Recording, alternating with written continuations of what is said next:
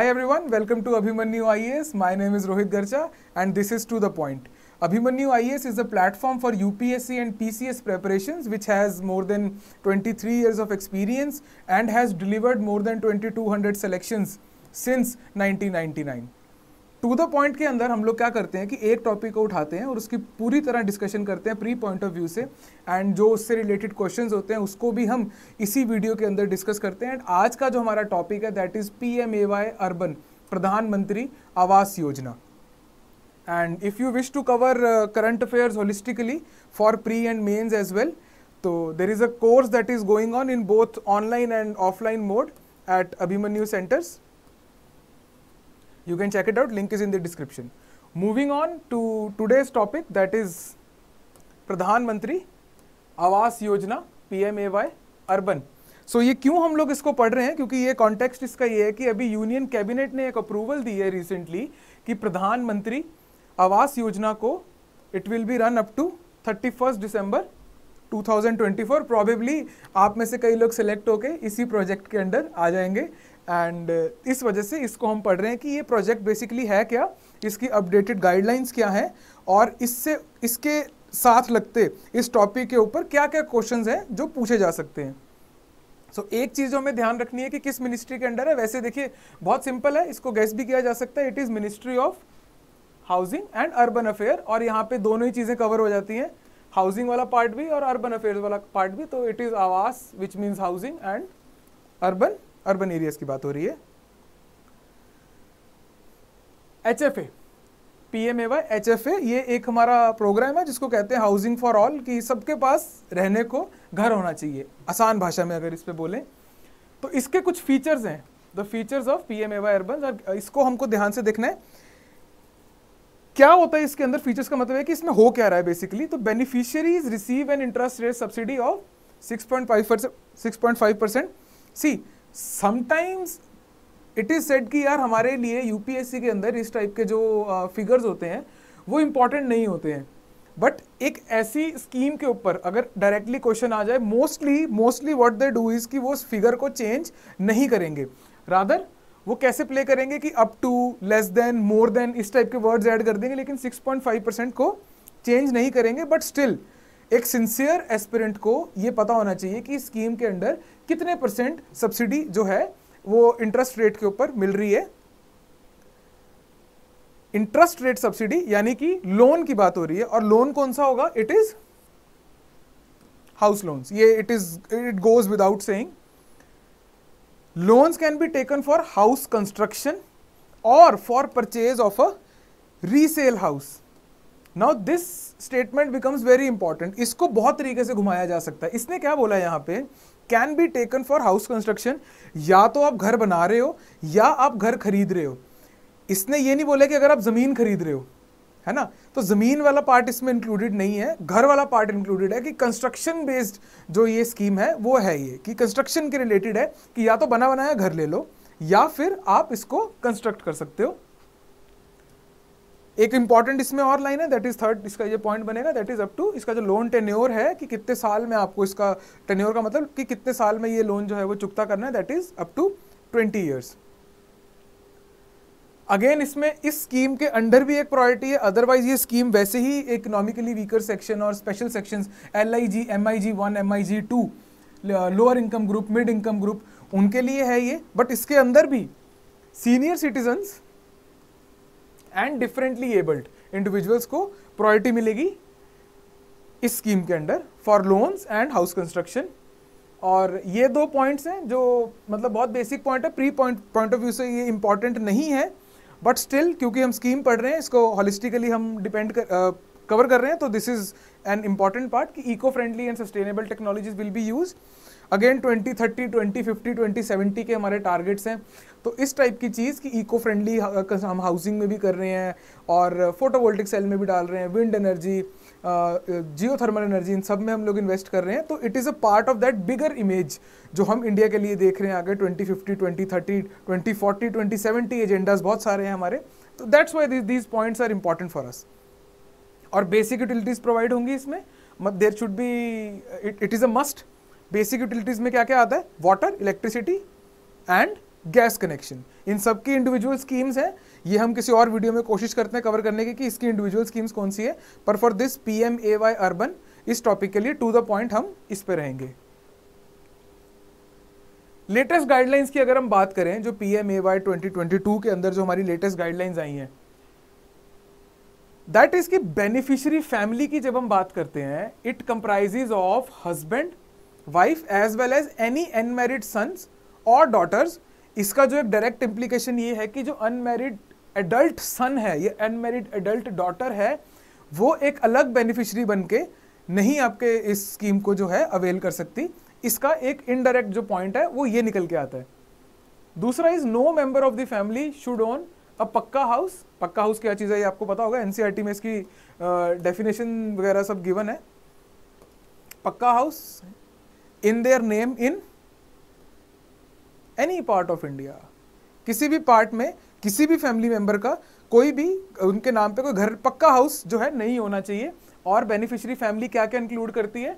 Husband wife as well as any unmarried sons और daughters शादी हो जाए तो एक अलग हाउस होल्ड है। अनमेरिड सन्स एंड डॉटर को उसमें आएगा और इनमें से कोई भी जो है, वो एक पक्का हाउस जो है उसको ओन नहीं करा होना चाहिए। इट गोज विदाउट सेइंग कि should not have availed assistance from any other government housing scheme कोई भी और हाउसिंग स्कीम के अंदर वो कवर्ड जो है, वो नहीं होना चाहिए। तब आप इसको अवेल कर सकते हो। किसकी बात हो रही है ये? P M A Y urban की बात हो रही है।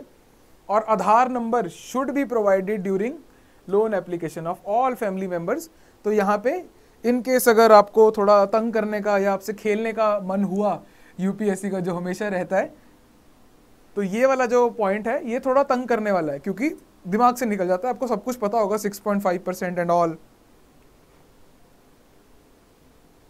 इसके अंडर देखिए, अब पी एम ए वाई जो है, ये डायरेक्टली नहीं चलता है। इसके अंडर वेरियस जो है सब स्कीम्स हैं, जिसके through P M A Y को इम्प्लीमेंट किया जाता है। जैसे number one is affordable housing through credit link subsidy कि आप जो लोन लेंगे क्रेडिट लेंगे, उसके अंदर आपको सब्सिडी मिल जाएगी। बाकी सारा काम आपको खुद करना है। कि घर कहाँ बना रहे हैं, कैसे कर रहे हैं, कैसे नक्शा, ये, वो एवरीथिंग एल्स वो आप खुद देखेंगे। आपको जो है अफोर्डेबल हाउसिंग कैसे मिलेगी? Credit link subsidy interest subsidy मिलेगी आपको बेनिफिशियरीज को of up to two point six seven lakhs two point six seven lakhs की जो आपको सब्सिडी है मैक्स सब्सिडी वो आपको ये मिलेगी। अप टू का मतलब ये है कि मैक्सिमम ये है। एंड ये एलिजिबिलिटी क्राइटेरिया ये उसके बेस पे होगा जो आपके इनकम ग्रुप्स है। एक बार हम वो भी देख लेते हैं कि what are the various income groups ये भी एज एन एस्पिरेंट आपको इसके बारे में थोड़ी सी बेसिक नॉलेज होनी चाहिए। जो ई डब्ल्यू एस सेक्शन है, उसकी जो हाउस होल्ड इनकम है हाउस होल्ड में क्या क्या आता है हमने देख लिया है कि married couple unmarried sons and daughter ये सबको मिला के household E W S का कितना है? अप टू थ्री लैक्स ये पर एनम की बात हो रही है by the way per year की बात हो रही है। Up to three lakhs per year L I जी जो ग्रुप होता है it is three to six lakhs M I G one six to twelve lakhs M I G two it is twelve to eighteen lakhs तो ये grouping है जो हम बात कर रहे थे कि अभी अप टू टू पॉइंट जो सिक्स के आस टू पॉइंट सिक्स लैख के आसपास जो था, वो किसको मिलेगा? अप टू मैक्सिमम वाला ई एस को जाएगा। और ये ग्रुपिंग है if you want to write it down या आप नोट्स बनाना चाह रहे हैं तो just pause the video and write it down या so going back to the first one it is beneficiary of up to 2.6 इसका जो मिलेगी हो गए प्रोवाइडेड होगी interest subsidy that is up to 2.67 lakh हालाँकि फिगर याद रखने की ज़रूरत नहीं है बट क्योंकि हम इसको होलिस्टिकली कवर कर रहे हैं तो एक बार देख लेना चाहिए कि कितना इसका मैक्सिमम जा रहा है. Second is affordable housing in partnership partnership का क्या मतलब होगा? किसके साथ पार्टनरशिप कर रही है सरकार? ये पीपीपी मॉडल की बात हो रही है. पब्लिक प्राइवेट पार्टनरशिप की बात हो रही है. हाउसिंग फॉर ईडब्ल्यूएस कैटेगरी किसके लिए? अफोर्डेबल हाउसिंग इन पार्टनरशिप किसके लिए हो रही है? ई डब्ल्यू एस कैटेगरी के लिए will be constructed in partnership with the public and private government will provide assistance of up to कितना? डेढ़ लाख 1.5 लैक्स पर हाउस पर हाउस यहाँ पे हाउस होल्ड भी रिप्रेजेंट करता है वैसे बट यहाँ पे पर house affordable housing project will be eligible for fund assistance एक चीज़ यहाँ पे इंपॉर्टेंट है कि कौन से प्रोजेक्ट्स को फंड मिलेगा? उन प्रोजेक्ट्स को मिलेगा जिसमें 35 percent of the housing is for the E W category provided वहाँ पे एटलीस्ट ढाई सौ घर हों। मिनिमम ढाई सौ घर होने चाहिए किसी प्रोजेक्ट में, और उनमें से 35 परसेंट जो घर हैं, वो ई डब्ल्यू एस कैटेगरी के लिए होने चाहिए। तब जो सरकार है, वो अफोर्डेबल हाउसिंग इन पार्टनरशिप का जो आपका बेनिफिट है, वो उस प्रोजेक्ट्स को प्रोवाइड करेगी। दिस इज़ दी एलिजिबिलिटी मेरे हिसाब से this one becomes a really important one क्योंकि ये करंट में भी आ रहा है लेटेस्ट है ये। एंड uh, इसके ऊपर क्वेश्चन फॉर्म करना भी थोड़ा सा कन्वीनियंट है। इसके ऊपर क्वेश्चन फॉर्म किया जा सकता है। स्टेटमेंट को घुमाया जा सकता है। इन सीतु स्लम रीडेवलपमेंट इससे देखो दो वर्ड्स यहाँ पे इंपॉर्टेंट है और आप इससे आपको क्लियर भी हो जाएगा। इन सीतु मतलब वहीं पे रीडेवलपमेंट किसको कर रहे हैं? स्लम्स को कर रहे हैं। The government of India will partner with what private firms to build houses for slum dwellers on the land on which this slum is located जहाँ पे स्लम ऑलरेडी लोकेटेड है, वहाँ पे इसको इन सीतु री इन सीतु वहीं पे रीडेवलप किया जाएगा। और एक lakh will be provided for each eligible house rehabilitation grant कि जब आप उनको वहाँ से हटा रहे हो और बाद में कंस्ट्रक्शन हो रही है और इस पूरे प्रोसेस के बीच में एक रिहेबिलिटेशन ग्रांट मिलेगी इन सीतु स्लम रीडेवलपमेंट के लिए under this scheme next is subsidiary for beneficiary led construction इसको बीएलसी और एनहेंसमेंट यहाँ से कंस्ट्रक्शन और एनहेंसमेंट इससे आपको थोड़ा क्लियर होगा कि या, ये इसमें आपको जो बेनिफिट है दैट इज़ फॉर कंस्ट्रक्शन और एनहेंसमेंट क्या मतलब है इसका? This is provided to the अब ये इंपॉर्टेंट है यहाँ पे E W S category families to construct देखो, ये है यहाँ पे इंपॉर्टेंट चीज़ जो मैं इसके ऊपर थोड़ा सा ज़ोर देना चाह रहा हूँ। कंस्ट्रक्ट अ न्यू हाउस और एनहेंस एन एग्जिस्टिंग वन और कहीं पे इस स्कीम के अंदर जितने सब पार्ट्स हैं, इसके अलावा और कहीं पे भी इसकी बात नहीं कही है कि हमने इस चीज़ को एनहेंस करना है। Central assistance of up to डेढ़ लाख कैन बी अवेल्ड इसके अंदर क्या है? अगर आप एनहेंस कर रहे हो तो क्या मिनिमम रिक्वायरमेंट है कि minimum addition of nine square metres देखिए अभी कितनी हाईली टेक्निकल चीज़ है। अगर हम इसको नॉर्मल स्कीम को पढ़ने जाएँगे तो ये नाइन स्क्वायर मीटर्स वाला ये इसकी मिनिमम एलिजिबिलिटी जो है, वो नहीं दिमाग में आएगी एंड सडनली ये आपको एग्ज़ाम में जो है वो दिखाई देगी and you can not answer it so is to the point series के अंदर इस टाइप की चीज़ें आपको देखने को मिलेंगी। If you want to cover it completely mains वगैरह के लिए भी तो link is in the description you can check it out ये हमने अभी आपको दिखाया था कि कैसे है। सी अब आप देखते हैं कि इसके ऊपर स्कीम बेस्ड क्वेश्चन वैसे बहुत रेयर होते हैं, लेकिन अगर स्कीम बेस्ड क्वेश्चन कोई आता है तो this is how a question can be projected select the correct statements again मैं हमेशा बोलता हूँ कि जो भी नए एस्पेरेंट जो इसमें आ रहे हैं, नए तैयारी में आ रहे हैं you have to be highly careful on these kind of words क्योंकि समटाइम्स साथ ही में इनकरेक्ट लिखा होता है और आई जो होता है वो छोटा करके लिखा होता है पता नहीं चलता कि करेक्ट है कि इनकरेक्ट है। और फ्लो में अगर चार करेक्ट के क्वेश्चन आ गए और पांचवा जो है वो एक इनकरेक्ट का क्वेश्चन है तो आप उसको करेक्ट uh, पढ़ लोगे और गलत जो उसको मार्क कर दोगे in the context of eligibility इसने बता दिया कि एलिजिबिलिटी के कॉन्टेक्स्ट में under P M A Y urban पहली स्टेटमेंट देखते हैं। No member of the family should own a pucca house in their name in any part of the country ये हमने देखा है इसकी एसेंशियल कंडीशन है। This is the correct one if you want to attempt question आप इसको video को pause करके क्वेश्चन अटेम्प्ट कर सकते हैं एंड लास्ट में इसको मैच कर लेना कि जो आपका आंसर आ रहा है। Beneficiaries may have availed assistance from the state government but not under central government scheme हमने क्या कहा था? Any government scheme this is how you read in between the lines की ये कहने का क्या मतलब है? यहाँ से इस टाइप के सीरीज़ के साथ जब आप टू द पॉइंट में इस टाइप के क्वेश्चन करते हैं यू you नो know कि याद क्या रखना है।